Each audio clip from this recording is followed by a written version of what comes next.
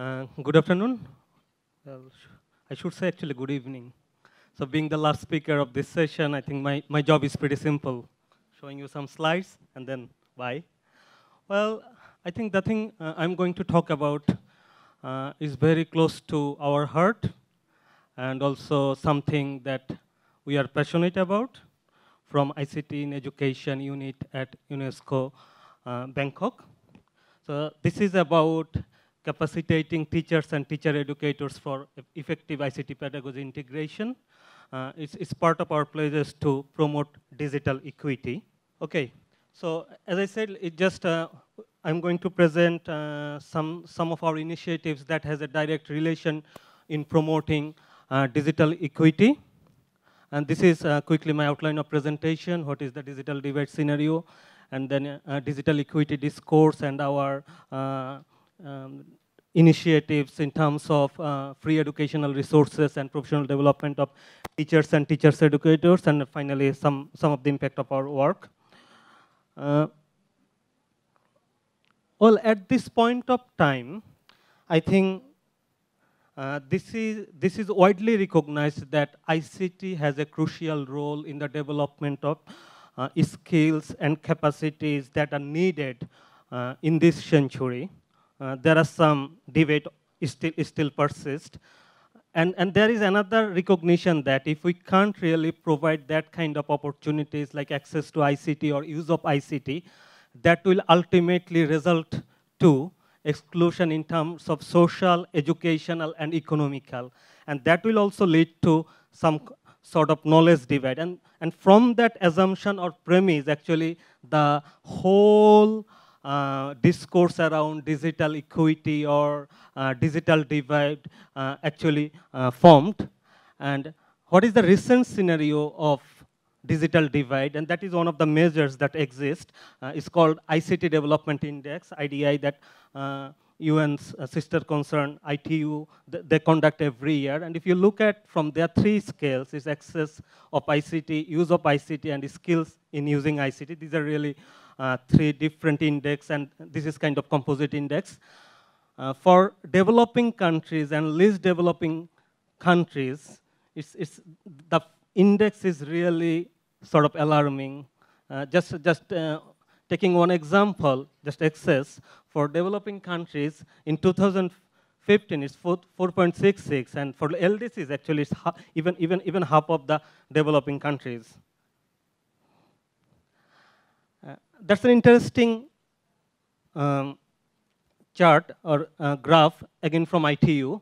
Uh, it's, it's, it's, according to region. Uh, if you look at the Asia Pacific, you will see it's kind of it, it has a good average, a bit more than Africa, but the range is high. That actually says the Asia Pacific region is one of the most diverse region in terms of IDI. So in one hand, we have countries like Korea, they are always top in the list in terms of internet penetration, or countries like Singapore, Hong Kong. But on the other hand, we have countries like Afghanistan or Bangladesh, Nepal. So that, that's really kind of striking. And uh, in terms of internet penetration, uh, at, at this point of time, uh, it's about 3.2 billion all over the world. And one of the recent, very recent statistics from uh, World Bank Group still says 60% of total uh, world's population are not connected yet. So that figure only is about 40% of total population. And for the uh, least developing countries it's only 9.5% of their population. For uh, developing countries is about one third of their population. Uh, so it's, it's, again according to region and development status. Uh, it's for least developing countries, it's only 9.5%. Well, that's all about actually access to ICT, more, more or less. But when we talk about digital equity in education it's actually more than access. Uh, what does that mean? Uh, some of the commentators, they, they kind of argue that it has to be access to high quality digital educational materials. There has to be uh, opportunities so that educate, educators can create and share, share, digital content. And also there should be opportunities to reach, receive related training. And the last one is also that available access to high, high quality research. Because if we can't really ensure that kind of access, uh, it's, it's not just only limited to access to internet or access to ICT usage. There has to be all these components in there to ensure uh, digital equity there. Otherwise, it will be a huge knowledge divide around the world. Just from my personal experience, I have been graduated from one of the developing countries back in 2004 and or 5, and I, I received my master's degree actually without reading any sort of say even, even, even an article from a B category journal. So that's the scenario. And I, I don't think things have much sort of improved in the last one decade or so. But of course, there are some promises or some opportunities we are seeing, at least from the Open Educational Resources Journal that we can see now, now at this point. Uh, and that was recognized uh, the importance of that kind of component that actually says the empowerment of teachers or teacher educators uh, in order to address all these digital equity and digital divide issues in the education, and that has been uh, well recognized in the uh, Sustainable Development Goal 4 and also Education 2030 agenda. Uh, so what we are doing from UNESCO Bangkok to address this issue?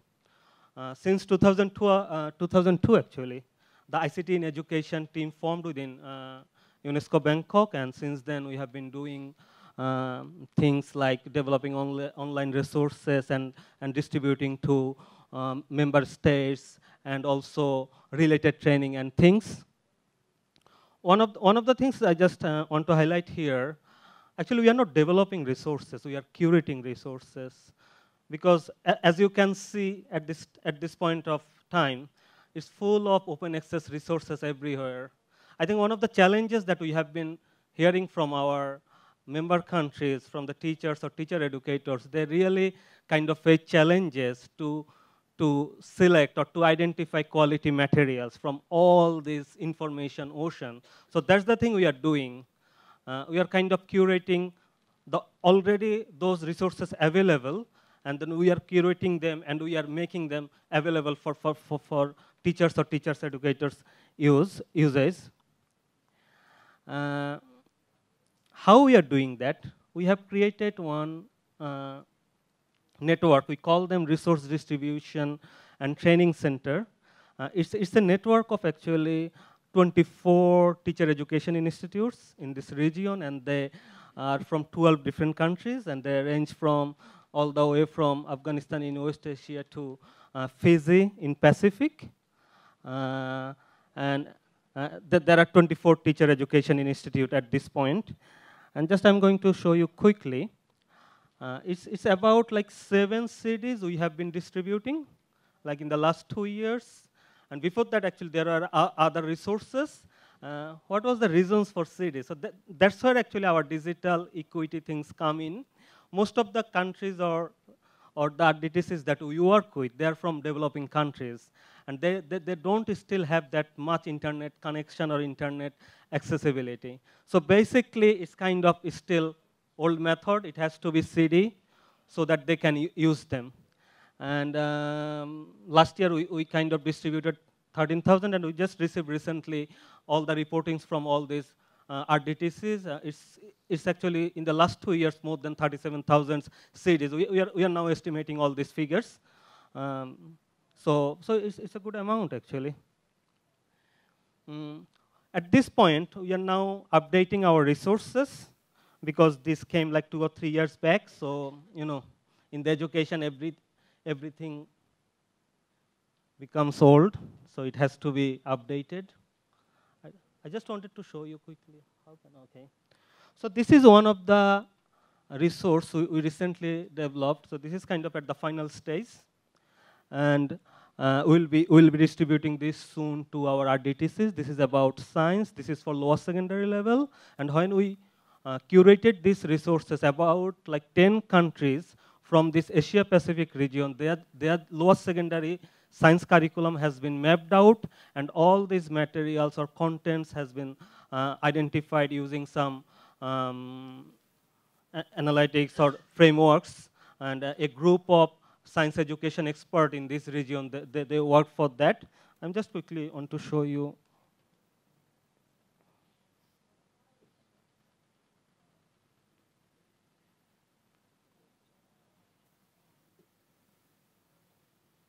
Okay. So just uh, take one example, natural resource.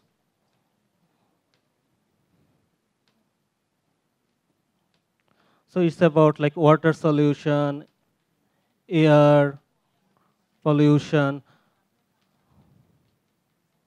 So if I go, go down, so these are all different uh, resources that we collected, and these are all uh, copyright clearance we, we kind of facilitated. So all these uh, teacher education institutes, they can actually uh, redistribute and they can reproduce and then they can, they can use that.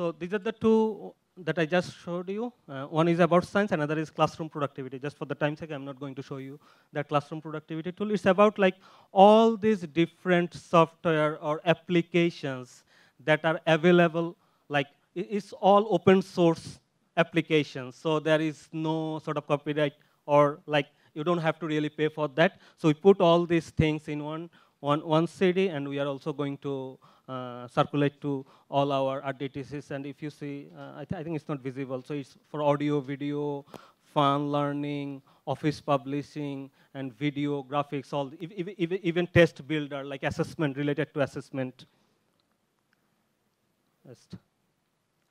Well, so uh, two of the main responsibilities of our network is one is like they have to distribute all these uh, resources to their nearby schools or all the pre-service or in-service teachers, they come to those teacher education institutes for, for receiving training. So that is part of, one of their kind of mandate. The other thing is also they have to provide training to those teachers.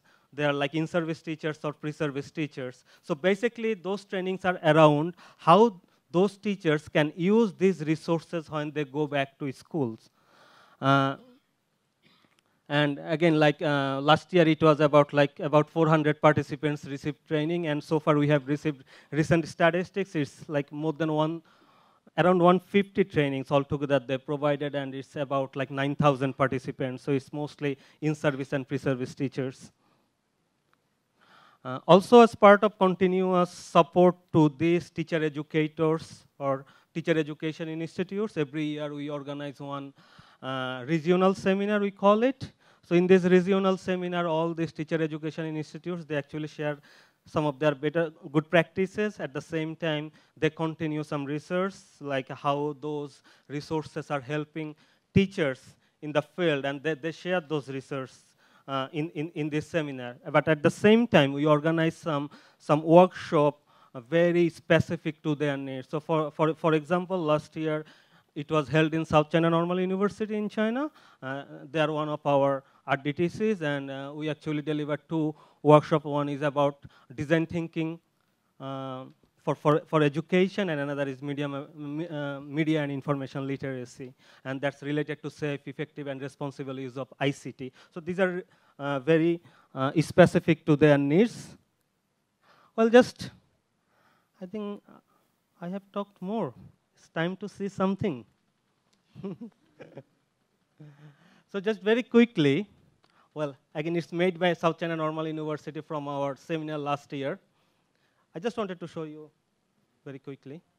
How can I show? Oh, it's started here.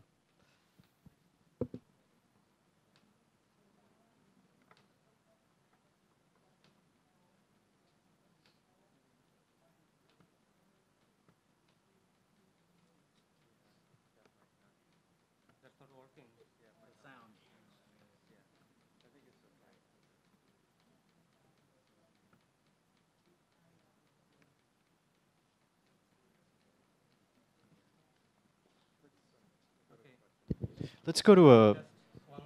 Oh, okay, one's on.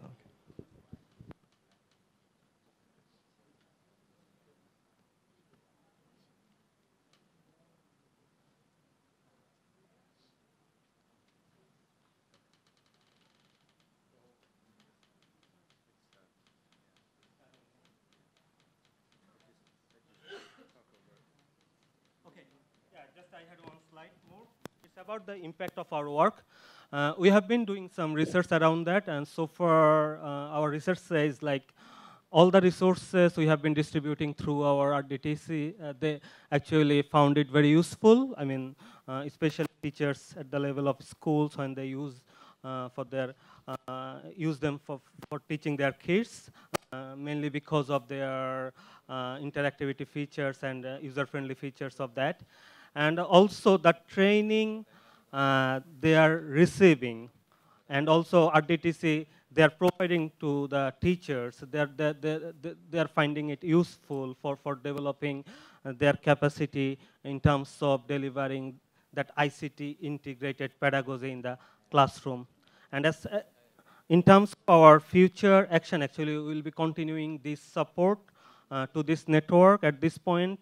Uh, we are finishing our kind of last contract with all these RDTCs, so we are now in the phase of renewing the membership for these RDTCs, and we will be probably calling for new members to come in. And also there are uh, certain aspects and uh, certain uh, new elements or features will be developed uh, soon. And we hope through our this kind of activities, we are trying our best to address to that digital uh, divide issue and to promote digital equity. Thank you very much for your hearing.